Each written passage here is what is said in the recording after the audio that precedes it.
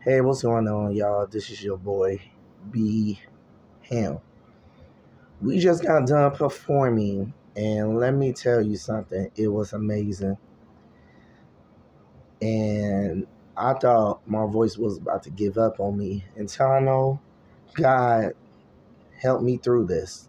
And, you know, it's truly an honor to be part of this amazing group. After three years of my life, you know, I learned a lot. I trained a lot. Always, you know, being part of the, the legacy of Roger Troutman.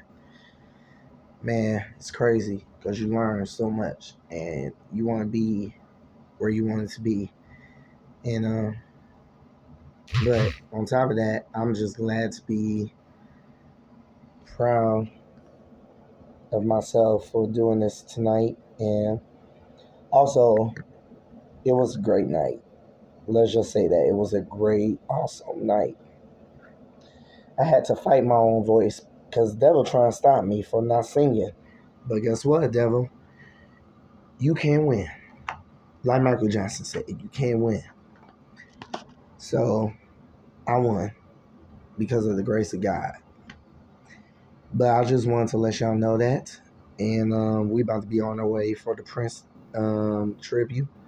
It's about to go down tonight. As y'all can see, I'm wearing a Purple Rain, Purple Rain shirt. And of course, you already know AMPG, New Power Generation in the house.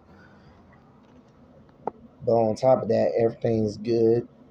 And God is good all the time. You know what I'm saying? God's good all the time. But listen, y'all, I'm going to head back. We leaving tomorrow morning to go to the next shit. So, y'all have a blessed night and y'all have a good night and everything. And I'll be hollering at y'all tomorrow. Pray for me as I, you know, get this out. Love y'all. Peace out. B. Ham Squad.